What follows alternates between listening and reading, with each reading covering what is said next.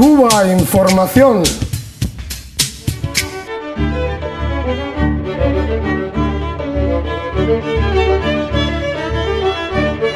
Eu creio que vão, vão continuar é, o trabalho revolucionário por esse presidente. É muito simbólico, porque é o primeiro presidente que Cuba tem que não, é, não participou da revolução, é mais jovem, mas os ideais são muito fortes e acredito que sigam com, com, que sigam com o, governo democrático, popular, revolucionário que Cuba tem como exemplo ao mundo. Eu venia pela segunda vez à Brigada 1 de Maio.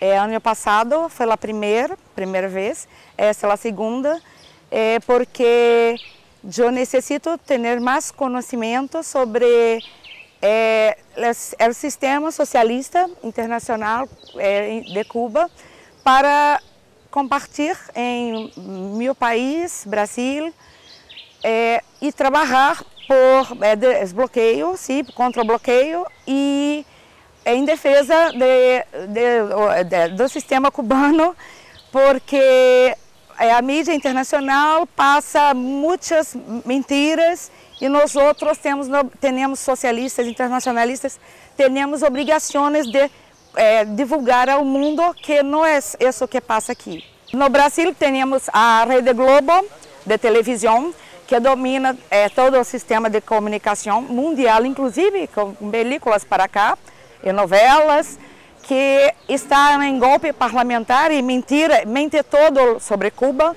É, é, trabalham é, junto com os demais, com os poderes do Brasil para derrubar o governo democrático e para é, emplacar o, o, imperialismo em todo o planeta. Em Brasil, Cuba na Rede Globo é malo, não, não, não os querem, não, nem, nem, comentam sobre é, o bueno de Cuba. O malo, falam malo e nós outros temos obrigações de desmentir, de passar a verdade.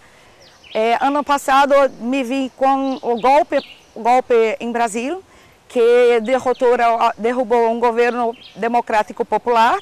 E hoje me venho, me venho com é, nosso presidente Lula, preso político, e esta é nossa, nossa primeira luta. Então, é, venimos aqui para ganhar, ganhar força para lutarmos contra é, a dominação yankee capitalista que impera em toda a América Latina, contra os governos populares.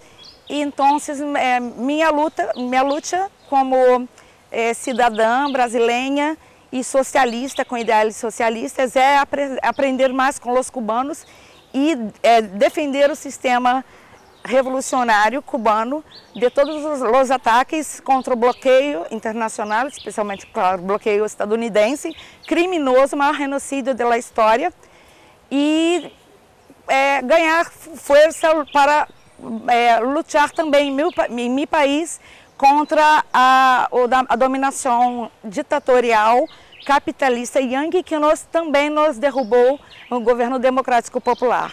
Hoje nossa luta é contra isso por e Lula livre.